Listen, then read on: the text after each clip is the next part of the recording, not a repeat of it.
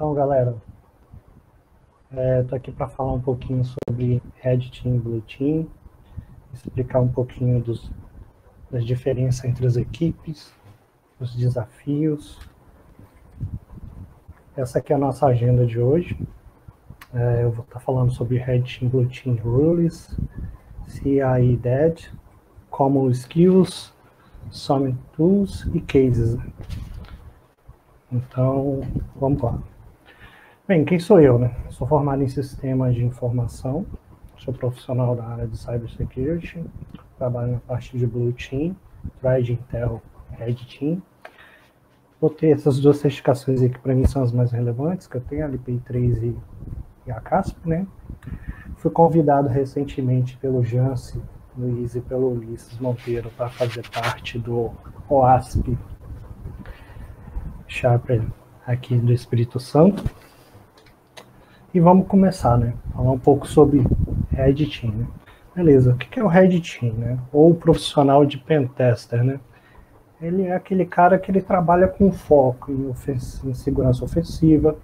Ele é um hacker? É, ele é um hacker, mas ele é um hacker ético.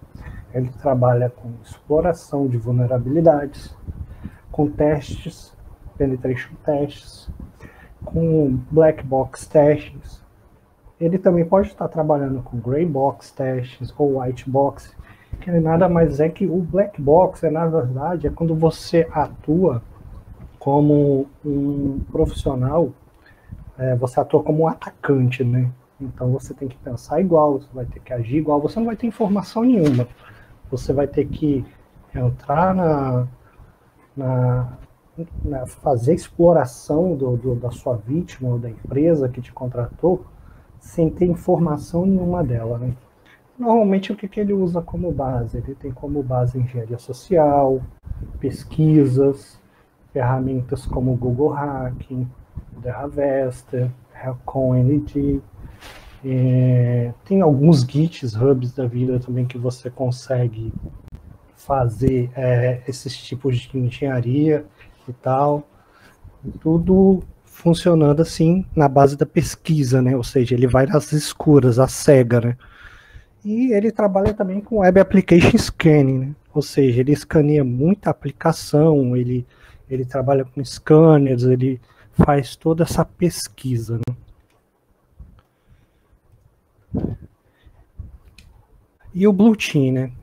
O que, é que o Blue Team ou Cybersecurity Analyst faz? Ele justamente ele tem um pensamento oposto, né? Ele fala, ele trabalha na defensiva, ele mexe com proteção de infraestrutura, com controle de desastre, com resposta a incidente, com segurança da operação, com thread hunter, com é, forense.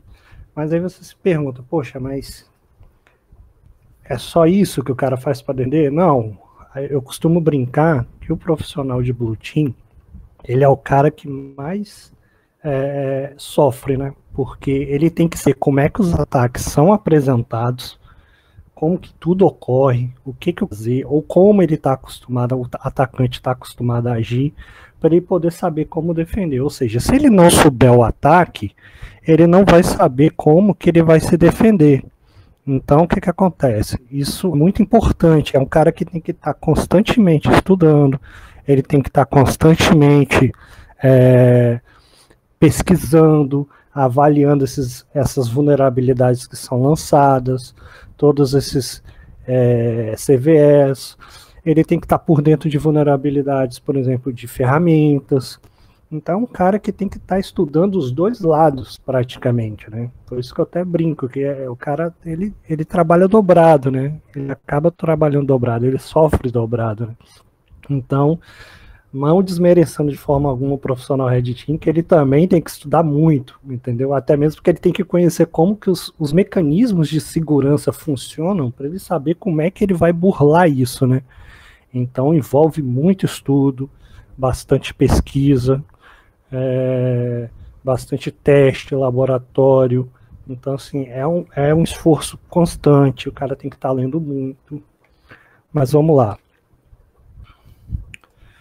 E falar das duas áreas, não tem como falar de Blue Team e Red Team sem falar do CIA ou do DED, né?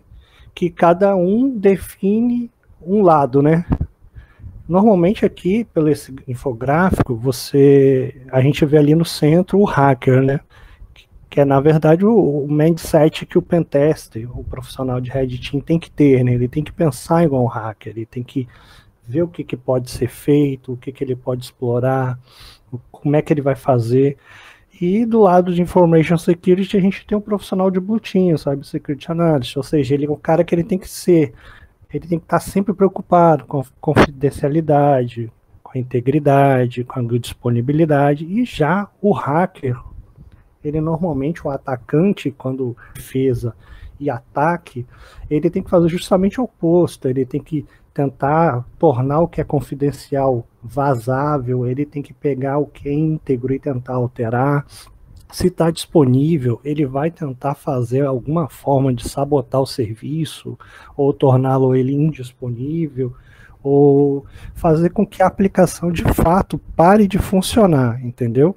Pare de, de, de, de estar disponível, tornando isso é, um problema bem grande, entendeu? Para corporação, para empresa, ou até mesmo hoje a gente tem muitas aplicações que a gente vê aí trabalhando. Hoje a gente com os smartphones a gente tem tudo na palma da mão, né? Então acaba que o foco também acaba sendo muitas aplicações. Você vê que alguns é, algumas empresas hoje já estão focando alguns pentests mais para apps, para Android, para iOS. Então você tem uma gama maior de como tentar entrar dentro da empresa com a visão de um, um pentester, né, um red team.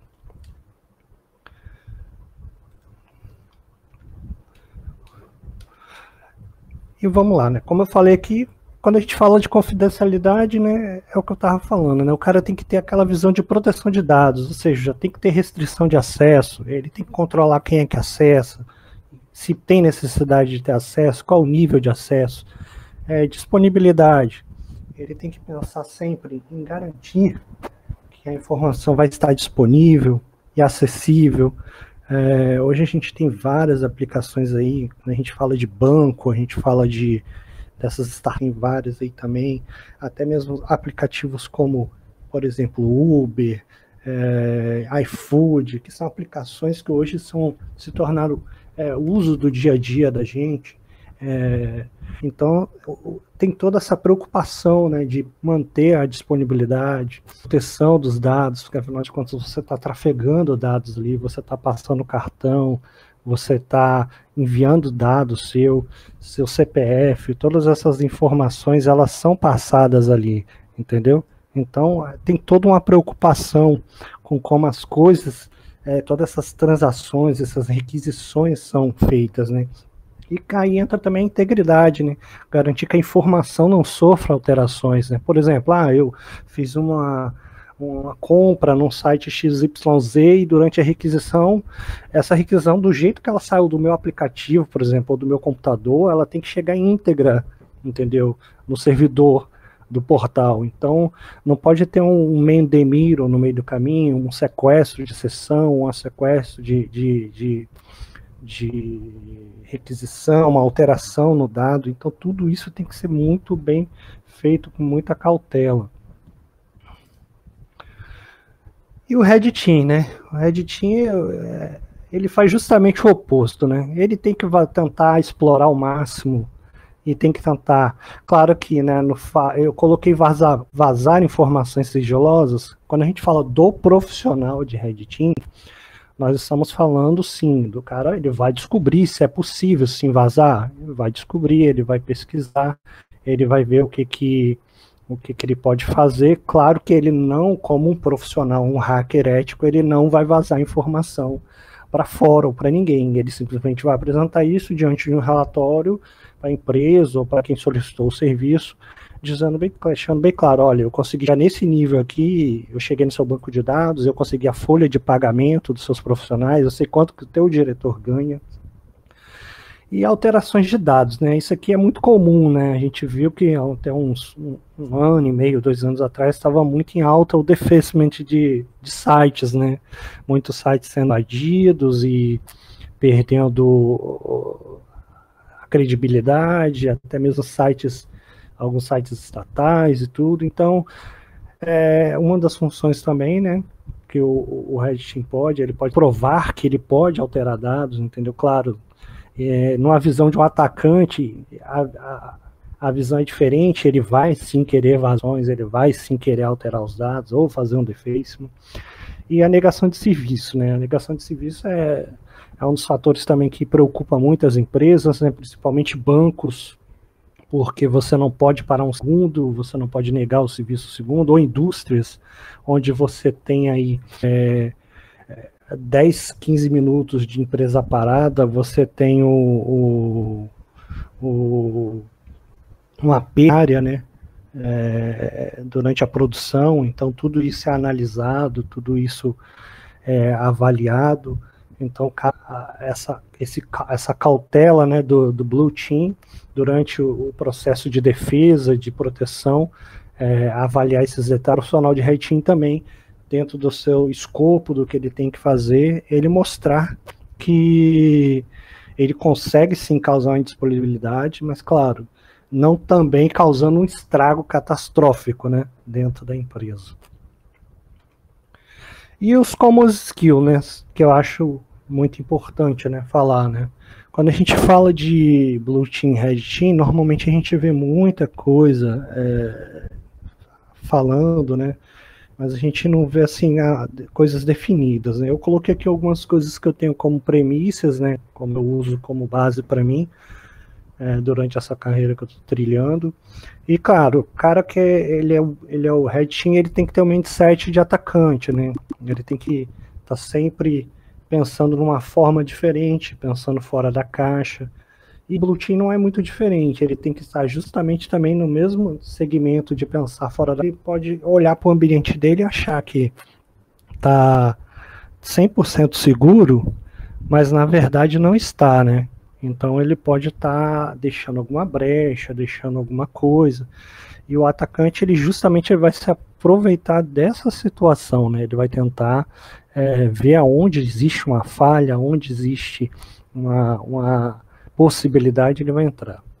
E Linux, né? Quando eu falo de Linux, é, muita gente às vezes acha que quando a gente fala de estudar Linux para você trabalhar com defesa ou com ataque ou com pentest, é você aprender somente o ls, cd barra ou coisas básicas, né, como entrar no diretório, criar uma pasta, criar um usuário. Não, quando a gente fala de Linux, a gente fala num, num, numa profundidade do sistema operacional, né? Você entrar nos detalhes, você saber como é que ele funciona, o que, que pode ser feito, ah, qual é a estrutura básica do sistema operacional, estrutura de diretórios, é, qual é o gerenciador de pacotes, quais são as vulnerabilidades que normalmente saem, está sempre acompanhando, lendo, né, quando você vai aplicar um, um patch ou uma atualização, é, o que, que essa biblioteca ou esse patch, essa atualização, ela implica né, no sistema operacional. É, na visão de um Blue Team, por exemplo, é, é, dever dele também fazer isso, né? fazer todo esse controle de atualização, é, saber o que está acontecendo, o que, que pode impactar no ambiente com essa atualização.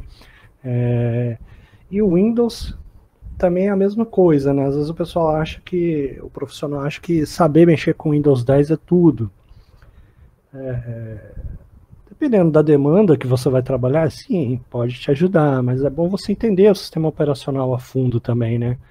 Entender um PowerShell, saber como é que funciona, entender toda a estrutura de logs, que é totalmente o oposto do Linux, que é, normalmente a maioria dos servidores são é, terminal, você não trabalha com tela gráfica, então assim, o profissional que ele quer trabalhar com segurança, é, é importante né, que ele tenha um domínio de, de terminal, que ele saiba trabalhar com linha de comando, e não só hoje no Linux, né, no Windows também, quando você vai você vai trabalhar, você precisa, é, às vezes, muitas das vezes, é, executar muitas coisas de linha de comandos, coisas que você só vai conseguir é, um, uma, uma solução mais eficaz, uma resposta mais rápida na linha de comando.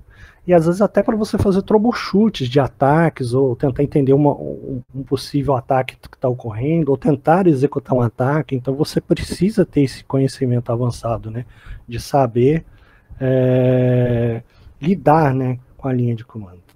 E redes, né? Redes, quando a gente fala de redes, a gente fala de OSI, né?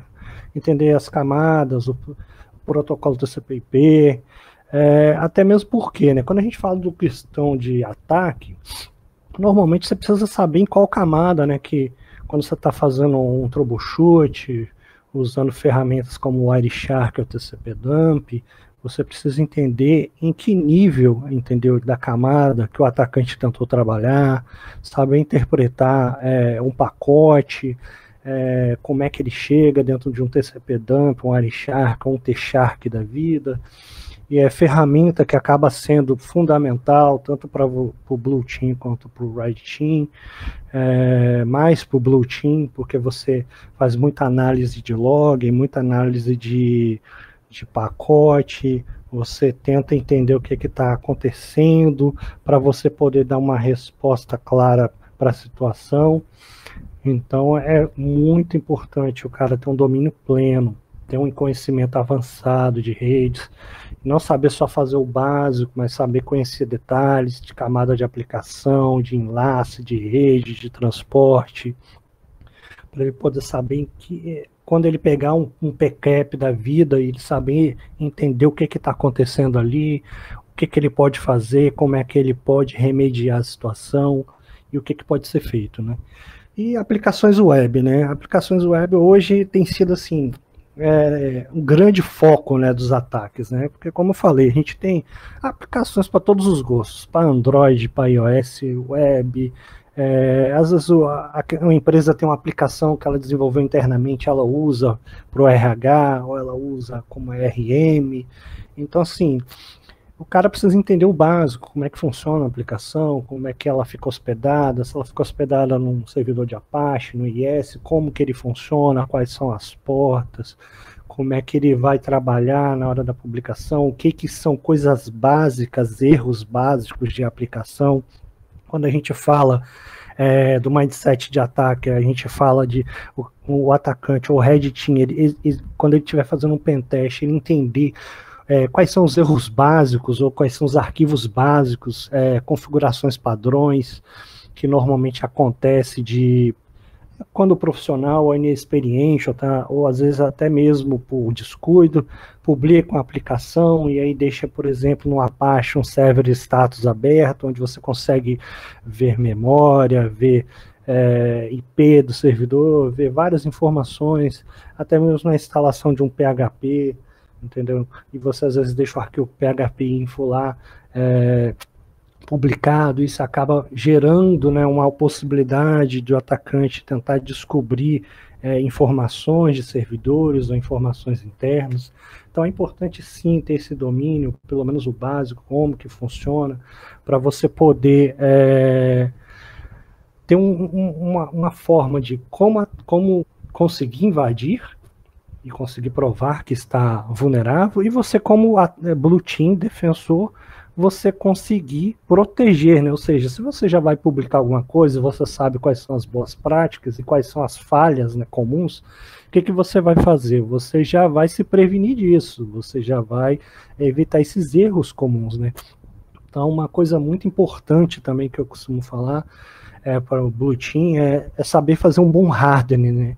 Se você é um cara que simplesmente só coloca o servidor no ar, instala e, e publica ele, é bem provável que você vai ter problemas com ataque, com invasão ou com vazamento de dados. Agora, se você é um profissional que tem aquele cuidado, aquela cautela de fazer um hardening, de é, fazer o levantamento de realmente o escopo de, do que, que vai ser publicado naquele servidor, quais são as necessidades, se realmente existe alguma coisa que não vai ser necessário remover, você já está diminuindo a possibilidade de você ter é, possíveis problemas. É, saber Python é, tem sido hoje uma linguagem assim que muita gente tem usado para automação, para programas, para N coisas. É, tem também sido usado para ataques, né, muitos scripts, Você acha também muitos Gits é, de ferramentas, tanto para exploração quanto para é, engenharia social, em linguagem Python. Então é importante que o cara que ele, ele quer pentest, que ele saiba pelo menos é, mexer com Python, para poder criar scripts, para automatizar alguns ataques, alguns processos, algumas tarefas, né? É importante tanto para o Red Team quanto para o Blue Team essa, essa, esse conhecimento, né? De, de Python, é, Bash. Por quê? Porque é o cara que ele é a hora que ele vai ter um, um diferencial durante o processo de, de, de identificação né, do ataque. O que, que acontece? Por exemplo, muitas das vezes o cara pega o ataque, vamos falar da, do profissional Blue Team, e ele olha lá um código, mas ele não sabe o que, que o código está fazendo, entendeu? Então ele não sabe dar uma resposta incidente correto.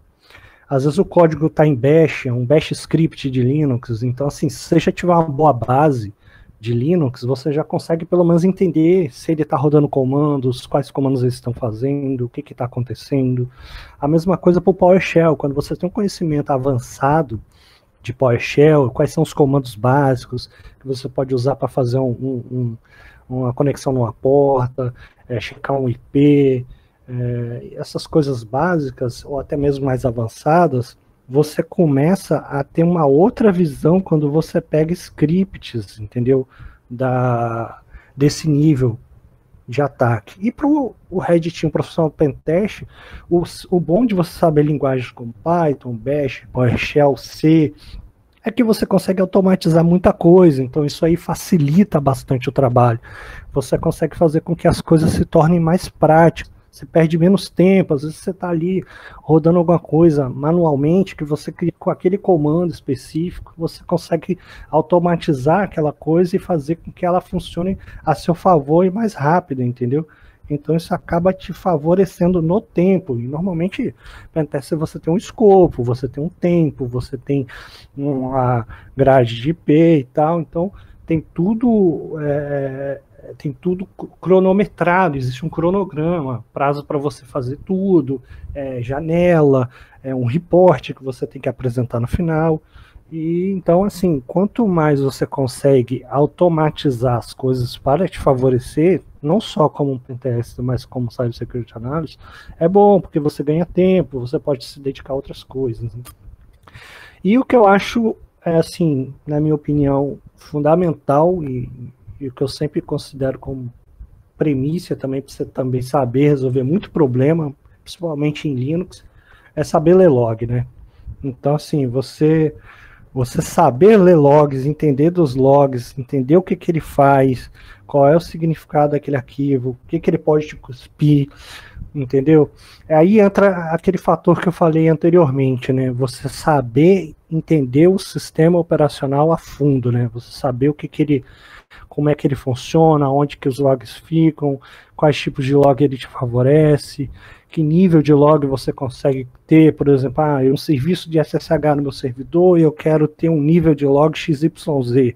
Então você dentro desse pacote ou dentro desse serviço do SSH, você saber configurar o nível de log que você precisa.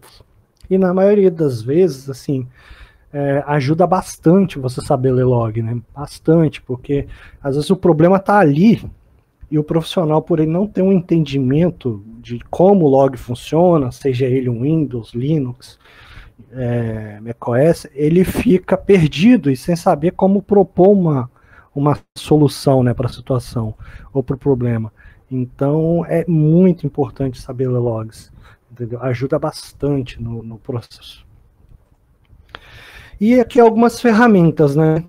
Que normalmente o Putin usa, né? Eu não coloquei todas, existem várias ferramentas por aí, então assim, tem até um livro que no final eu vou propor a leitura, ela traz bastante ferramentas, mas normalmente o cara ele tem o quê? Ele tem um Kali, com o sistema operacional Kali, Linux, né? Ou Parrot ou Arc, ele usa como Tools, ele usa o Metasploit, o Nmap, Nicto, OpenVAS, Google Hacking, Shodan, Sansis, o Foca, que por muitos não é conhecido, mas é uma ferramenta de, de, de engenharia social fantástica, você consegue coletar muita coisa, você consegue coletar arquivos, é, baixar arquivos e muitas coisas interessantes você acha nele. Uma que está dentro da distribuição do Kali, que também é uma ferramenta muito bacana para você fazer é, engenharia social.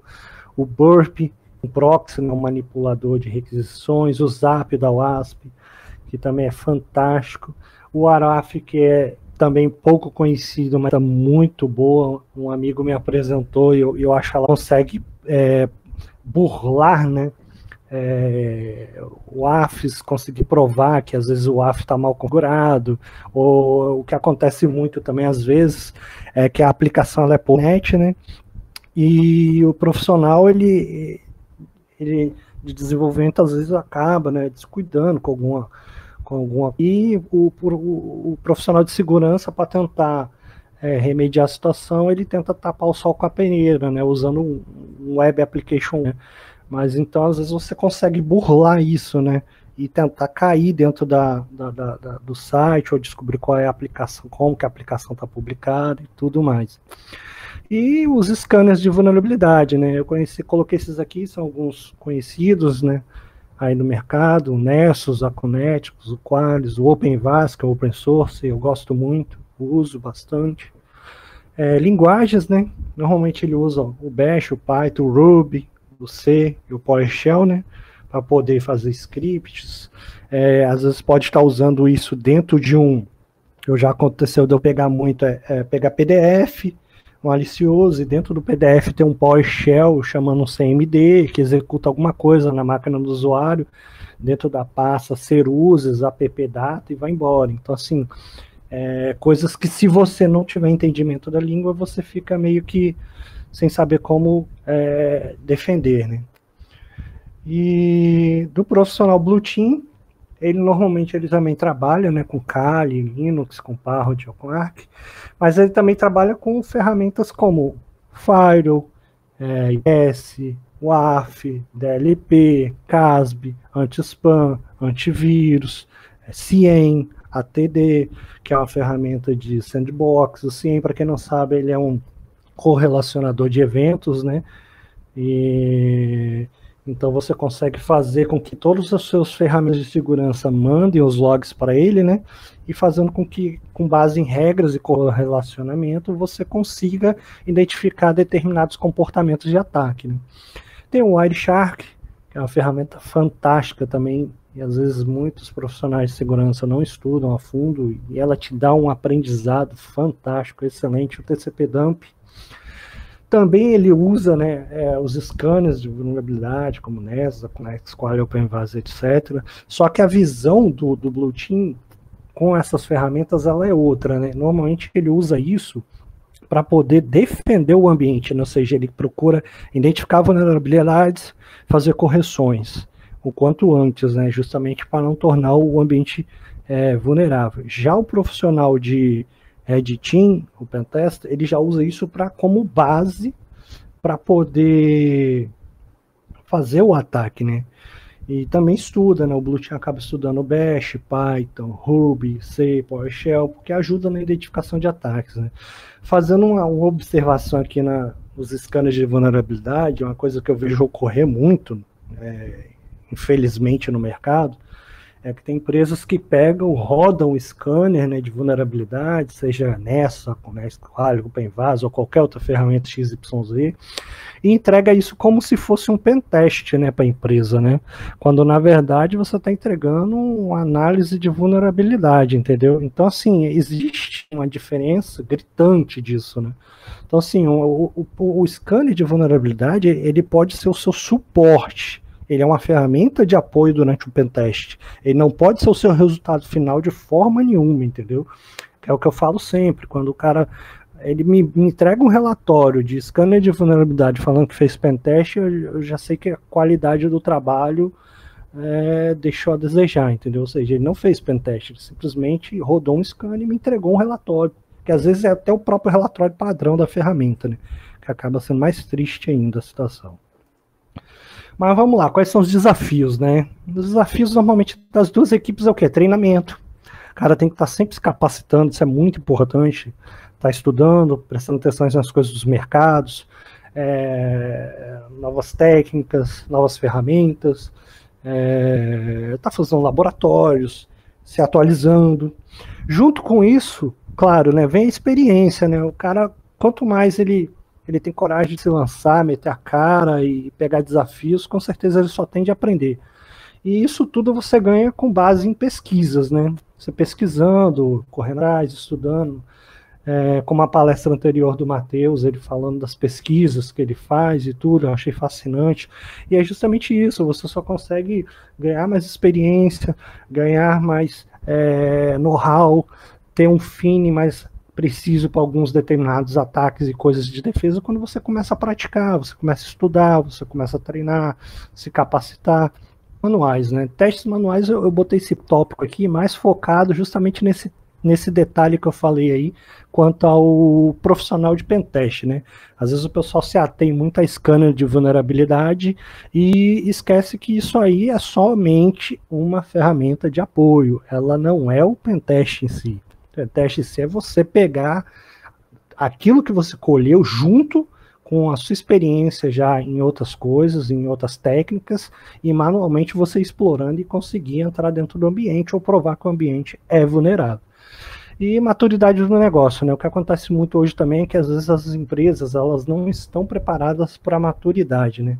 Do, do profissional Blue Team e Red Team, né? A gente tem aí, às vezes, muitas empresas terceirizando, o SOC e tudo justamente por quê? Porque ela não tem braço. Às vezes você vai, presta serviço para uma empresa e roda lá um scan de vulnerabilidade, mas ela não tem profissional ou qualificado ou em quantidade para dar vazão naquela, naquela, naquelas correções todas, né?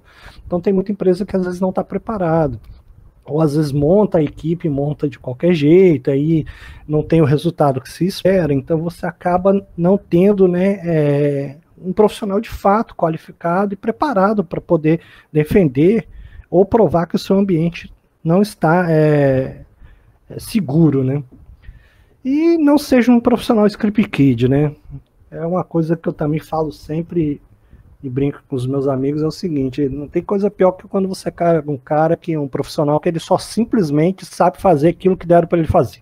Ele não sabe o porquê, não sabe às vezes nem o que, que aquilo que ele está fazendo faz de fato, mas ele só faz aquilo e pensar fora da caixa. Então, assim, é importante você que quer ser um profissional de segurança, seja Blue Team, Red Team, é, Purple, e por aí vai, é você sempre estar tá preparado para pensar fora da caixa, ser curioso, correr atrás, é, meter as caras mesmo, ter coragem de, de, de, pegar desafio. Eu costumo brincar com um amigo meu de trabalho que a gente aprende muito dando cabeçada, né?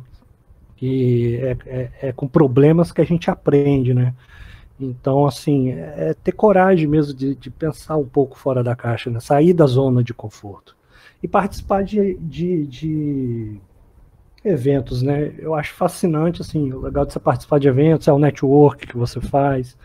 Tem sempre pesquisas, tem vários eventos que acontecem no Brasil. Não vou citar nomes, até mesmo para não desmerecer nenhum, mas tem vários eventos de segurança. Então, assim, é legal você estar tá participando, porque você aprende coisa nova, você troca experiência, você conhece coisas diferentes vindas de pesquisas. Então, assim, pesquisas às vezes que você só vai ver publicada ali no evento também, né?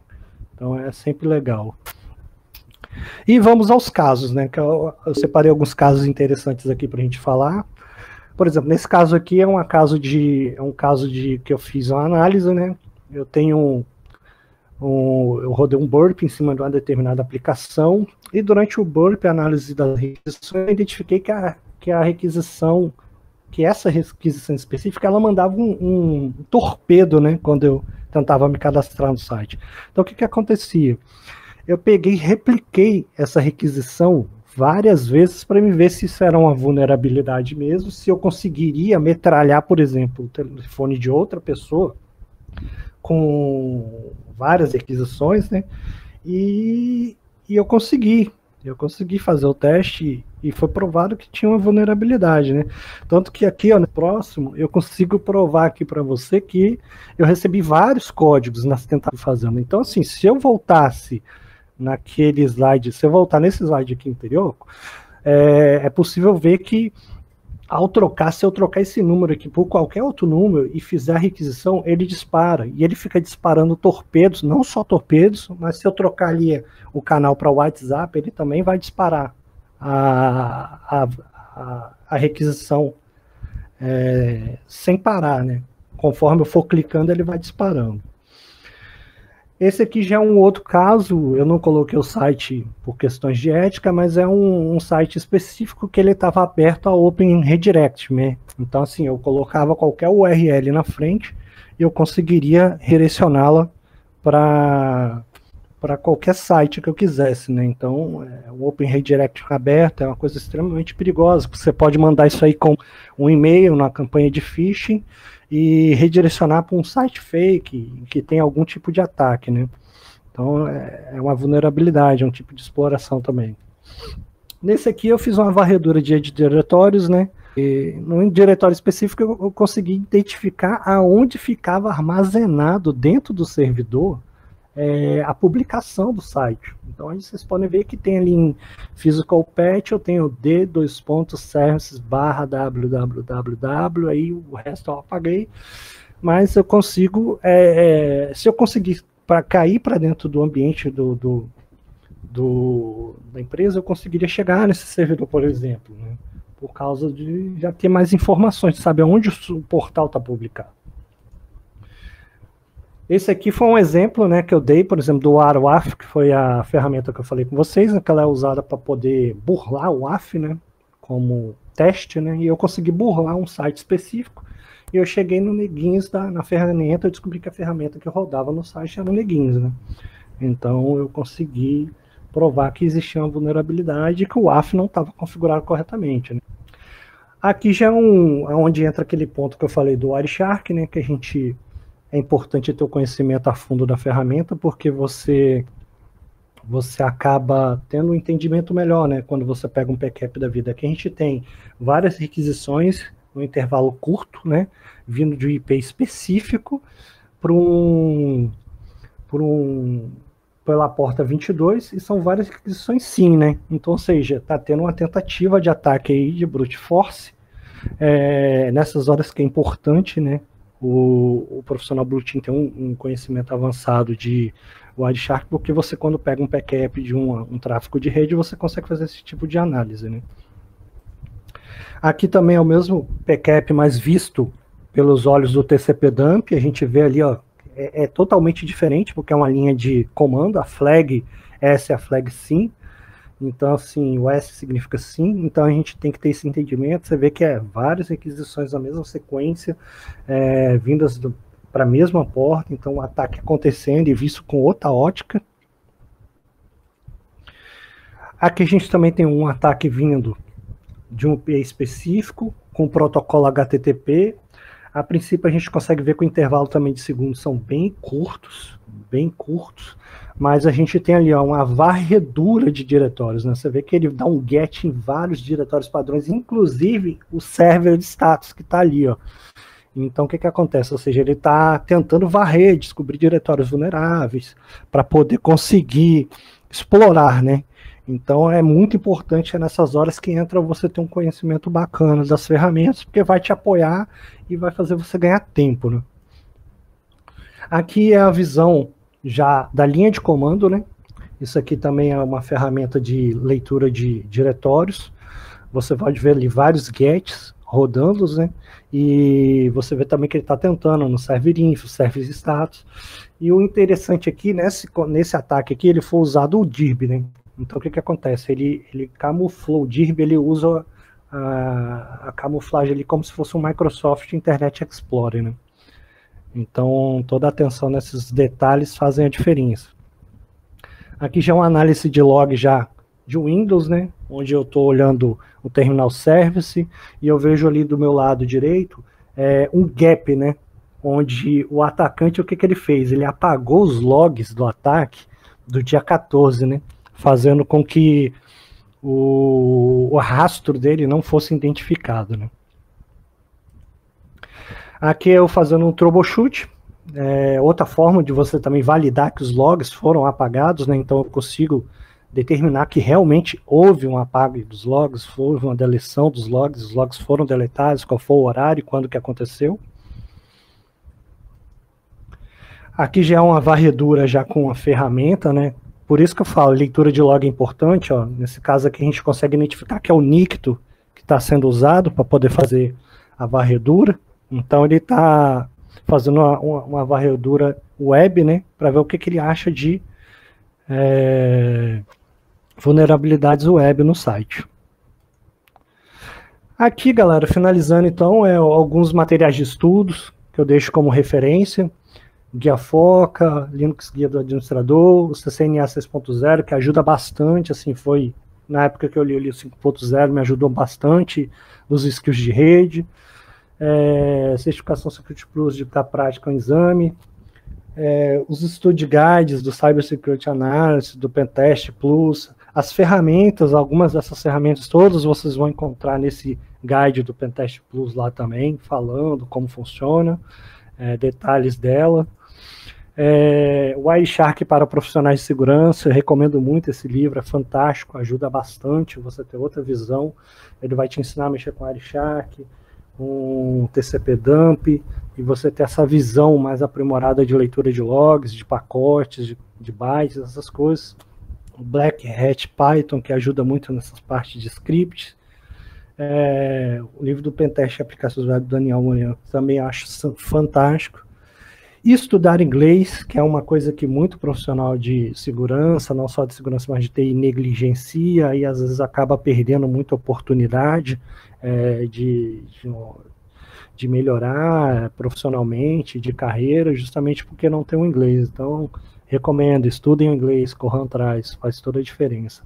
E para o hacker, é, para o profissional que quer trabalhar com pentest, ou até mesmo o Blue Team, o Hack the Box, né? Porque ajuda bastante, você aprende bastante coisas, então você acaba aprimorando bastante o seu conhecimento, né? Dentro disso aí é uma plataforma de graça, então tem a parte paga que você pode adquirir, mas você, você também consegue criar conta e trabalhar de é, fazer seus estudos de graça lá. É isso aí, eu fico por aqui. Eu agradeço a vocês pelo tempo de vocês. Está aí os meus contatos. É, precisamos, estamos às ordens lá no LinkedIn ou em qualquer uma dessas redes aí. Agradeço a galera do ASP aí pelo convite. E é isso aí, galera. Muito obrigado.